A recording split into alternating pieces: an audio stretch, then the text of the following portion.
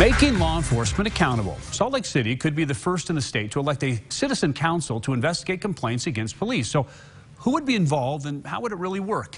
News 4 Utah's Rosie Nguyen went to find out. Utah Against Police Brutality says they want to form a council that will police the police. If their proposal becomes a city ordinance, they could have the power to review policies and fire a police officer. We cannot afford to let this disturbing trend of police terror continue on like this. Members of UAPB say everything they've been working toward for the last four years led to this proposal.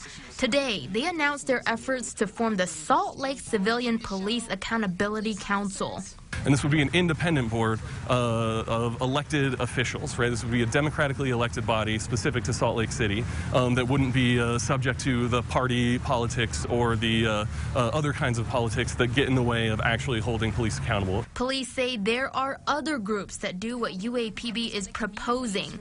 One of those being a civilian review board appointed by the mayor. We've been meeting with Utahns Against Police Brutality and interacting with them and, and showing them what's taking place in the department, answering their questions, giving them access to different uh, different parts of the department. However, UAPB says they haven't seen the accountability and transparency they've asked for from police just seems like it's all talk and it's roundabout conversation, but there's no solutions that they're willing to implement.